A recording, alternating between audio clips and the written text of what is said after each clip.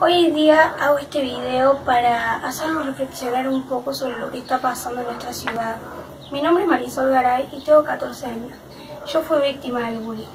Nunca creí que iba a llegar tan lejos el video, yo solamente lo hice por, eh, bueno, porque me surgió del corazón en hacerlo y bueno, yo creo que Dios como que me puso ese pensamiento en mí de en tratar de como alertar un poco a las personas sobre lo que está pasando porque tal vez nosotros lo miramos y no sabemos, pero a veces, eh, qué sé yo, nosotros como que hacemos la vista ciega muchas veces en esa situación, tratar de no quedarse callado y no hacer la vista ciega y tratar de hablarlo con otras personas y no esperar a que otra muerte suceda, empezar a trabajar.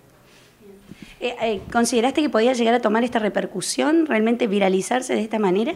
No, no, no, no creí que iba a llegar tan lejos.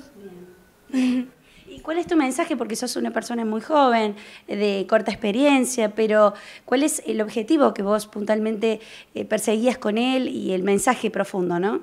Bueno, yo la verdad lo que buscaba con esto era más que todo tratar de hacer de concientizar un poco a los papás para que ellos inculquen más las normas de convivencia en sus hogares, porque tal vez es más que todo en base a eso, en base a la educación que le dan los papás en su casa.